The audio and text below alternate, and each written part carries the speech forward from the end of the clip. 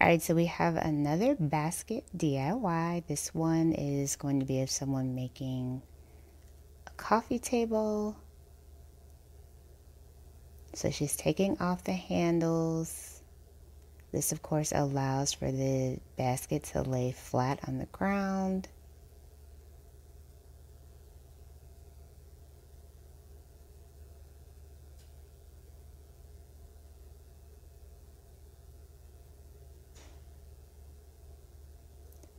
And then she is gluing the top portion. So you can use like a cutting board for this if you wanted to. That's an easy way to hack this method.